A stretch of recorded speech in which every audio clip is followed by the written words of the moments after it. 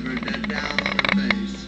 I knew it was true, she was in the wrong place, in the wrong time, in the wrong tale.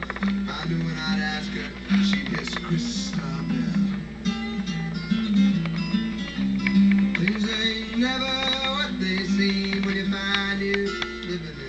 Shortly after Lincoln was murdered by a man with ties to the banking cartels, even though you won't learn that in school, our nation was hijacked. The revolutionaries that had wrested our country from the Bank of England were destined to be defeated by 1913 when control of the coin was to return to those interests we'd gone to war to gain independence from.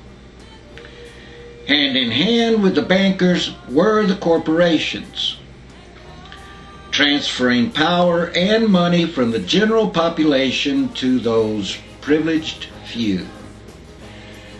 The latest step of that lamentable journey is the subprime crisis that caught the pundits by surprise. You know who did see it coming? The Federal Reserve. Hell, they engineered it. Remember Greenspan pushing all those low rent loans? Keeping interest rates in the gutter to make sure that no money went into savings? And the shrub doing the only thing he's ever been good at cheerleading the frenzy on. Right before the bubble burst, at his last State of the Union speech, he was crowing about the all time high in home ownership, like he was personally responsible for it. Of course, as soon as it started crashing, he and his cohorts were quick to point the fingers at the most defenseless and vulnerable. And like I predicted, the Fed has been bailing out the vultures right and left. And now, to add insult to injury, they're using the very mess they created in an attempt to gain even more power. Oh, give us the power to delve into every financial transaction so that we can prevent this from happening again. Yeah, right. This whole kit and caboodle actually happened 75 years ago under the administration of Herbert Hoover. Well, FDR pulled them up short. Didn't have the Congress to stop them completely, but his policies worked up until the savings and loan scandals of the 1980s. Again, under a Republican administration. What are the odds? You notice a pattern? Against all Republican demagoguery, the Glass-Steagall Act finally sealed the deal and brought all their shenanigans to a close. So how did this crap come to happen again?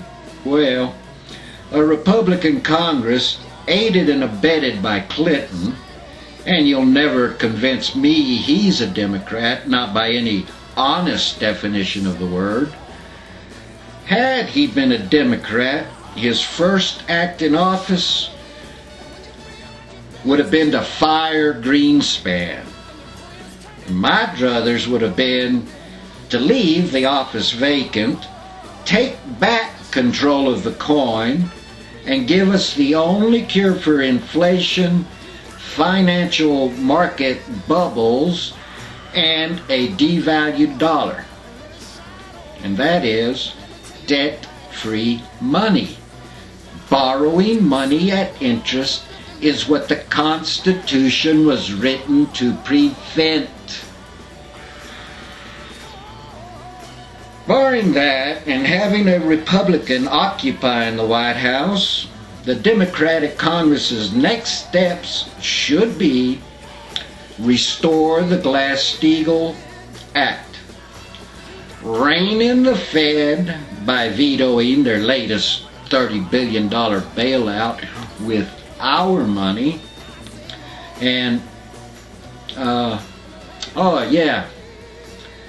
Impeach and convict those criminals who stole into our White House and have been stealing ever since.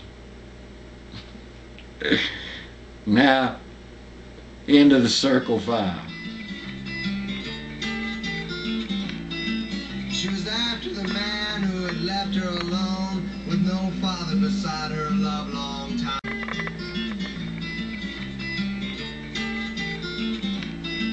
She was after the man who had left her alone with no father beside her love long time.